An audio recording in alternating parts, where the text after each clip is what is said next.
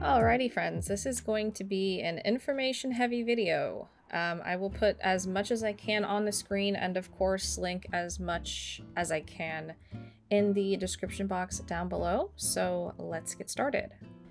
Starting off with my holy grail markers, the zebra mildliners, I use these in pretty much every single journal spread.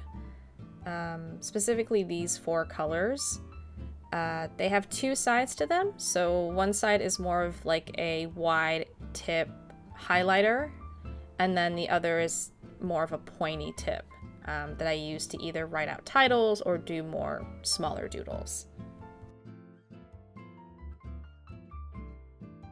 Next up is my Pigma Micron with the plastic nib. I find this to be probably my favorite of all the Pigma Micron pens because of how durable the plastic nib is. I tend to press somewhat hard when I'm writing or drawing, so I want a nib that will kind of support the strength of how I write.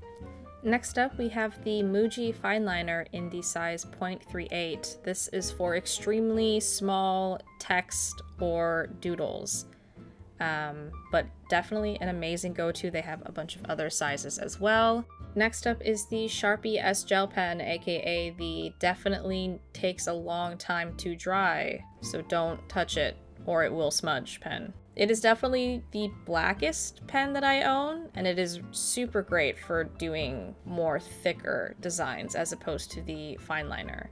Next up, we have my favorite pen of all time.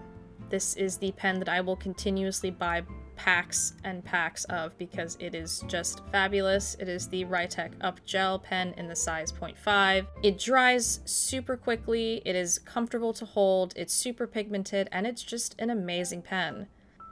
Anytime I need to do any kind of metallic accents or text, I use the Uniball Signo in gold. Again, super pigmented, an oldie but a goodie, a trustworthy pen. I mean, not much really needs to be said, it's just a really great metallic pen. I use the Tombow Fudenosuke pens whenever I need to do some kind of calligraphy or cursive title. There are two different kinds of Fudenosuke pens. There's one that has like a more flexible tip and one with a more firm tip. Personally, I feel like I get more precise calligraphy out of the flexible tip, but the options are there. The final pen for this section is the Sakura White Jelly Roll pen in either the size 0.8 or 0.10, depending on how uh, detailed I want to get with either the doodles or text. Alrighty, the final supplies in this section are definitely no stranger to anyone that bullet journals or just journals in general. These are the Tombow dual brush pens. There is a brush tip on one side and then a more defined pointy tip on the other side. These pens are definitely amazing starter options for anyone getting into bullet journaling and it just comes in a variety of different colors. So definitely one of my favorites. So I think we kind of all saw this section coming. Um, nonetheless, this will be pretty short and sweet. I'm not going to go super in-depth into each individual washi tape because I think you can kind of get the gist of what they are based on what you see. But I'm going to give just a general overview of my washi tape collection. So I normally have either like super thick washi tape, super thin, or just like the general thickness of most washi tape. I try to have some kind of variety when it comes to my washi tape collection, but it generally just ends up defaulting to super neutral, simple patterns or colors. Let me know if you guys will be down to see an entire video dedicated to my washi tape collection. I feel like that'd be fun to do. I don't know. Let me know. Alrighty, we've made it to the shortest section of this entire video. Um, just wanted to quickly show you what I use for my gluing needs as well as my corner cutting needs. Um, very self-explanatory tools, but these are my go-tos. Ah, well, if there was one collection that was as big, if not bigger, than my washi tape collection, it's definitely my stamp collection. Funnily enough, though, I realistically only use like between 5 to 10 different stamps. The other ones I kind of just have in case of emergency or in case I need a very specific stamp for a uh, certain theme. Generally, the stamps I own are more geared towards either journaling or have some kind of nature aspect to them. My most used stamps, however, are definitely these alphabet stamps from Amazon. These are my go-tos whenever I need to create titles of some kind. And then for no reason whatsoever, I have this gigantic stamp, which I never seem to use properly. Alrighty, next up is the paper ephemera section. Now, a majority of these do come from Amazon. Uh, the other pages are mainly just pieces that I've hoarded from years of bullet journaling. Essentially, these pieces are what I use to do a majority of the layering techniques in my journaling spreads. Um, I get some questions about how I go about layering. I guess is that would that be a cool video? I don't know. I feel like it's hard to explain what I'm doing because a majority of it is just like what comes to mind. But if you want more of a specific how-to, I can definitely try to come up with a video for that. Again, let me know. Moving on to a favorite uh, topic of mine to discuss, stickers. Uh, again, I've kind of been accumulating stickers since I started bullet journaling, but I quickly just wanted to show you how I go about storing both sticker sheets as well as individual stickers. And I also wanted to showcase some of my favorite small businesses to shop from when it comes to sticker sheets and stationery. Using stickers in your journal is another great way to add some kind of layering or oh, uh, you're not you're not supposed to be seeing that. Uh, starting off with a quick shameless plug uh, for my own stationery shop where I sell a bunch of stickers and stationery. Besides my shop, however, here are some other small businesses that I really enjoy buying stickers from. Of course, I will include the links to all of these shops in the description box down below. Alrighty, so we've made it to the final section of this video and probably the most important I think I should have talked about this in the beginning of the video, but I guess I'm just saving the best for last. So I started journaling in 2018, and since then I feel like I've gotten a pretty good idea of the kinds of notebooks that I enjoy journaling in. My go-to brands for notebooks are definitely Archer and Olive, Shop Amanda Rach Lee, and Your Bujo. I think it was my 2020 bullet journal where I used the blackout book from Archer and Olive and holy cow that was that was a challenge. it was difficult to do an entire yearly setup on just black pages but I kind of miss it and I kind of want to do it for next year's bullet journal. I think I'm ready for a challenge, so we'll see if that ends up happening. Some honorable mentions when it comes to my other non bullet journaling related journals uh, are definitely my spiral notebooks and my leather bound books. I don't really use these too often, but I wanted to give other kind of journaling recommendations besides just the standard bullet journal ones. I love the spiral notebooks because it basically just reminds me of school and taking notes in class because yes, I was one of those who tried very hard to make my notes look aesthetically pleasing, which shouldn't be a surprise at this point. And of course, my leather journals because well, it really just wouldn't be a journal recommendation section without at least showing you a few.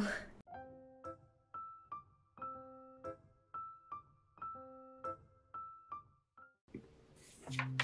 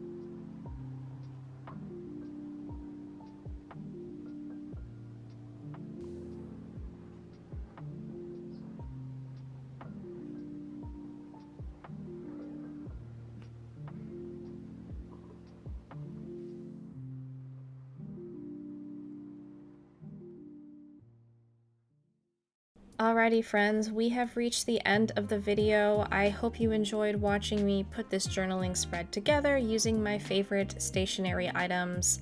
I hope this video was helpful and I was able to provide some kind of recommendations for your journaling needs.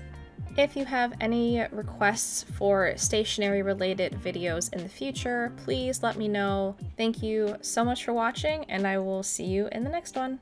Bye!